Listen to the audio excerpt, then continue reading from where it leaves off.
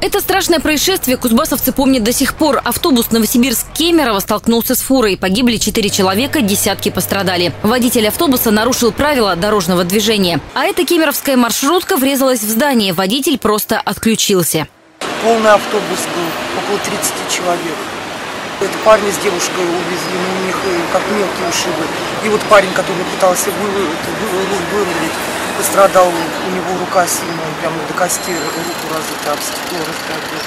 Проверки контролирующих органов показывают, каждый день на дороге выходят неисправные автобусы и маршрутки. То проводка горит, то руль отваливается, то тормоза не работают. Буквально развалюхи.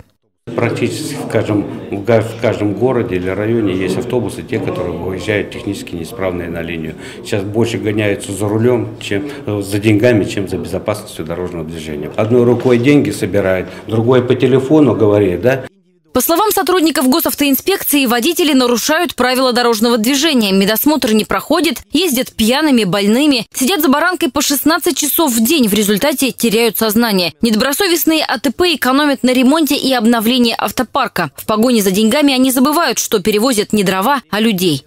Губернатор всегда держит на контроле вопросы транспортного обеспечения и тем более вопросы безопасности.